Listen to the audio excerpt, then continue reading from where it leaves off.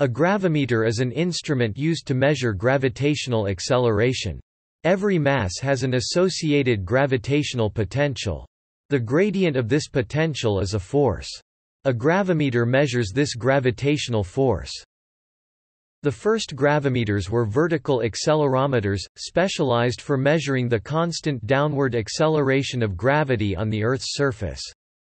The Earth's vertical gravity varies from place to place over the surface of the Earth by about plus or minus 0.5%. It varies by about plus or minus 1000 nanometers per square second, nanometers per second squared at any location because of the changing positions of the sun and moon relative to the Earth.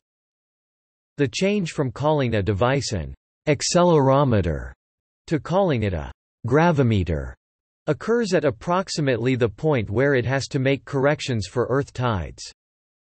Though similar in design to other accelerometers, gravimeters are typically designed to be much more sensitive. Their first uses were to measure the changes in gravity from the varying densities and distribution of masses inside the Earth, from temporal tidal variations in the shape and distribution of mass in the oceans, atmosphere and Earth. Gravimeters can detect vibrations and gravity changes from human activities. Depending on the interests of the researcher or operator, this might be counteracted by integral vibration isolation and signal processing. The resolution of the gravimeters can be increased by averaging samples over longer periods. Fundamental characteristic of gravimeters are the accuracy of a single measurement a single sample and the sampling rate samples per second.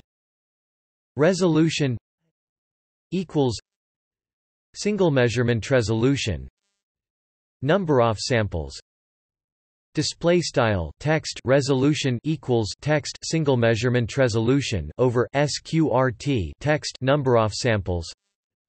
For example resolution per minute equals resolution per second 60 display style text resolution per minute equals text resolution per second over sqrt 60 Gravimeters display their measurements in units of gals centimeter per square second, nanometers per second squared, and parts per million, parts per billion, or parts per trillion of the average vertical acceleration with respect to the Earth.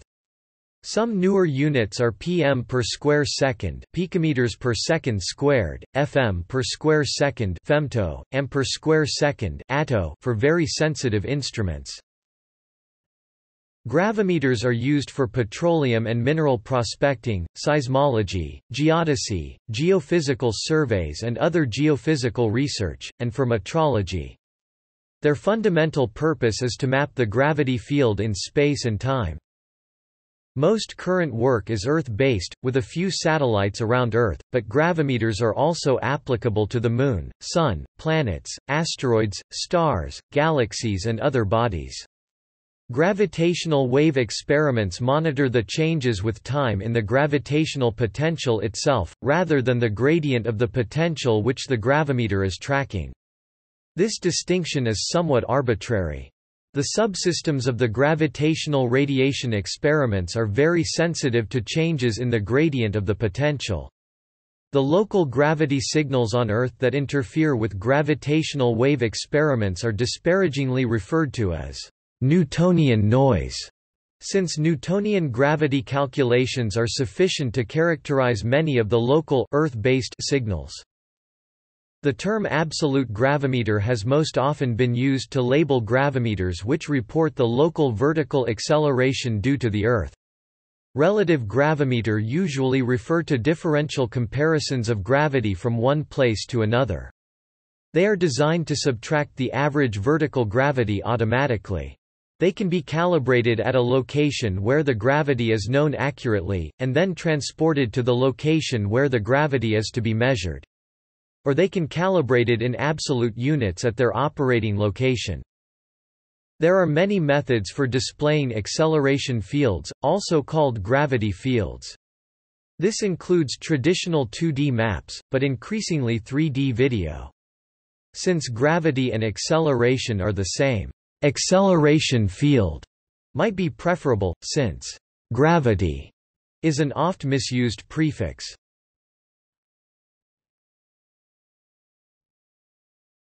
Topic: Commercial absolute gravimeters. Gravimeters for measuring the Earth's gravity as precisely as possible, are getting smaller and more portable. A common type measures the acceleration of small masses free falling in a vacuum, when the accelerometer is firmly attached to the ground. The mass includes a retroreflector and terminates one arm of a Michelson interferometer. By counting and timing the interference fringes, the acceleration of the mass can be measured.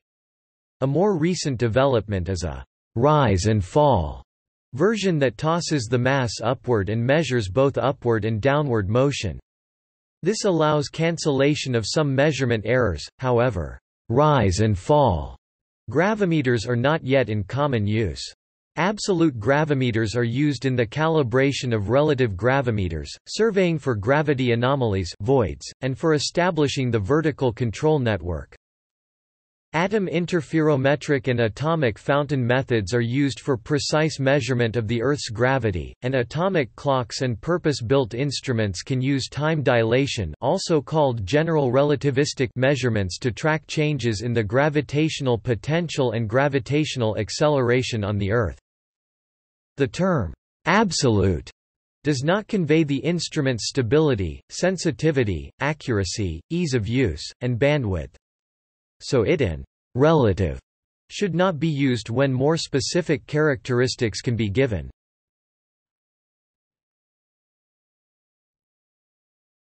Topic: Relative gravimeters. The most common gravimeters are spring-based. They are used in gravity surveys over large areas for establishing the figure of the geoid over those areas. They are basically a weight on a spring, and by measuring the amount by which the weight stretches the spring, local gravity can be measured.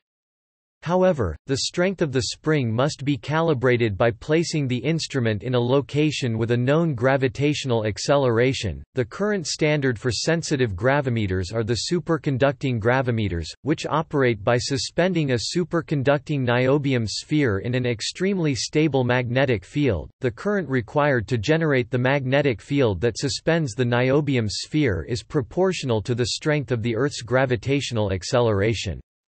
The superconducting gravimeter achieves sensitivities of 10 to 11 meters s-2 1 nanogal, approximately 1 trillionth 10^-12 of the Earth's surface gravity. In a demonstration of the sensitivity of the superconducting gravimeter, Virtanen 2006, describes how an instrument at Metsähovi, Finland, detected the gradual increase in surface gravity as workmen cleared snow from its laboratory roof. The largest component of the signal recorded by a superconducting gravimeter is the tidal gravity of the Sun and Moon acting at the station. This is roughly plus or minus 1000 nanometers per square second nanometers per second squared at most locations. SGs as they are called, can detect and characterize Earth tides, changes in the density of the atmosphere, the effect of changes in the shape of the surface of the ocean, the effect of the atmosphere's pressure on the Earth, changes in the rate of rotation of the Earth, oscillations of the Earth's core, distant and nearby seismic events, and more. Many broadband, three-axis, seismometers in common use are sensitive enough to track the Sun and Moon. When operated to report acceleration, they are useful gravimeters.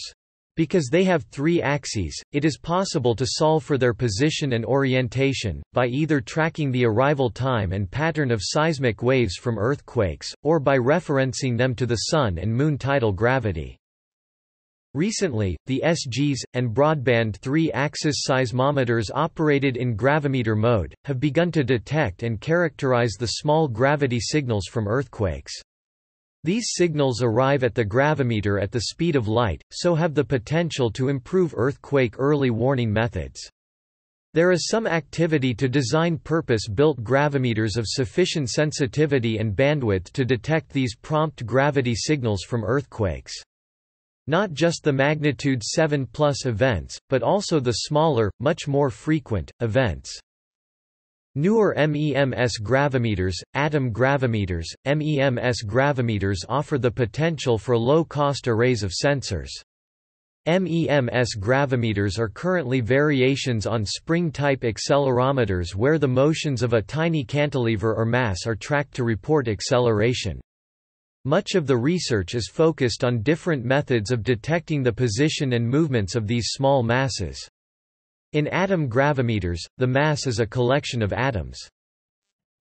For a given restoring force, the central frequency of the instrument is often given by omega equals 2 pi times frequency equals force constant effective mass display style omega equals 2 pi times text frequency equals sqrt text force constant over text effective mass in radians per second the term for the force constant Changes if the restoring force is electrostatic, magnetostatic, electromagnetic, optical, microwave, acoustic, or any of dozens of different ways to keep the mass stationary.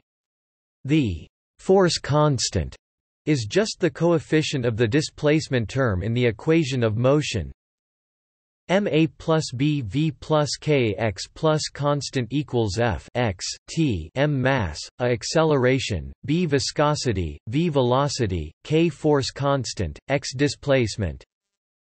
F external force is a function of location, position and time, F is the force being measured, and F per meter is the acceleration.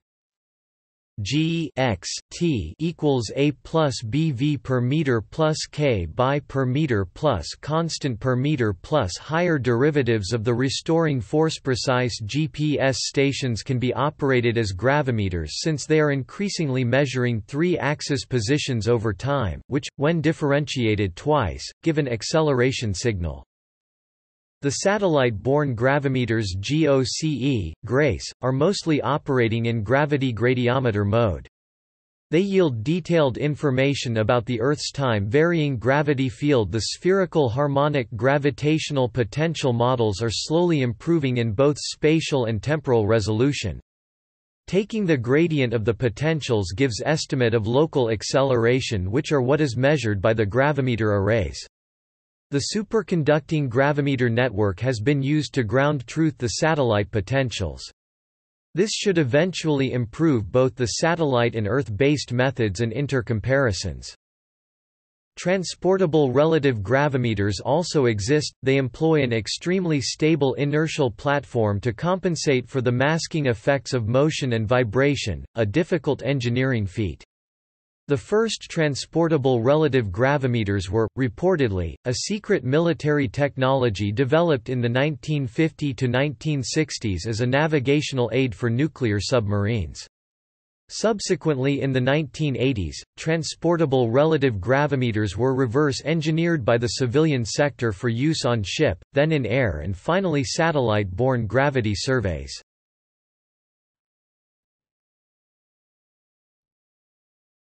Topic. See also. Geophysical survey. GOCE a modern satellite-borne gradiometer containing pairs of gravimeters accelerometers. Gravity gradiometry. Elastogravity